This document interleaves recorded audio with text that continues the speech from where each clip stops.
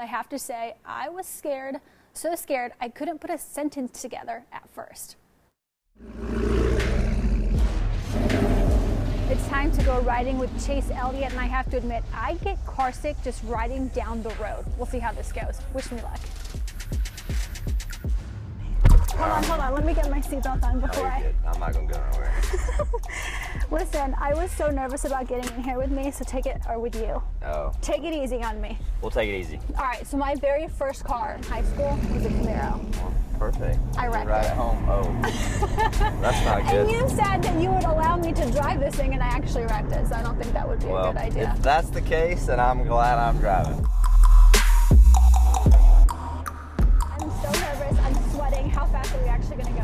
Uh, we're probably gonna go about 100 or so. Okay. Not bad. Have you ever in your career actually been scared? Yeah, I get scared dri- driving up and down 400 every week. This doesn't scare you at all? No, Oh No, not really. Gracious. Oh, we're so close to the side. So why are we so close to the side right now? well, because we have to get over that way, so we make the entry wide because that's the fastest way around. Yeah. Oh my goodness gracious. I get sick just going, you know, 40 miles an hour down a regular road, car sick very easily. So I might with you right now. Would that be okay with you? Do not. We're only gonna make one more, so. One more. If I can explain to you how fast my heart's beating right now. It's not that bad. So listen, number nine is my favorite number. I was That's good. born on the 9th of August. Okay. So I appreciate you driving the nine now. Yeah. And I know you keep saying how special it is to you. It feels right, it looks right. So would it be like me putting on, you know, my favorite outfit? It just feels right, it looks Yeah. right. That's what it's like. That's how you describe it. Exactly. That's exactly right.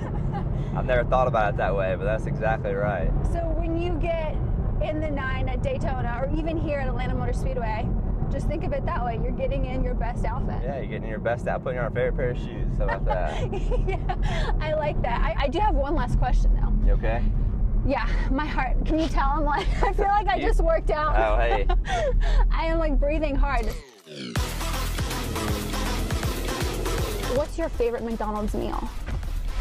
I haven't eaten there in a, in a long time. Do you remember?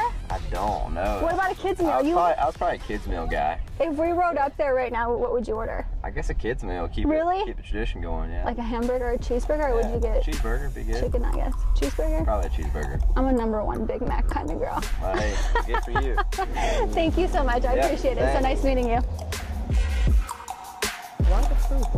Why? Why so Yeah, a little food? detour there to McDonald's. We're hungry too, but why? I know, I know. So here's the deal. His earliest memories at AMS, you know, when he was a kid, because his dad, Bill Elliott, he's a famous driver, and he would climb to the top of the McDonald's playground and watch the race from up there.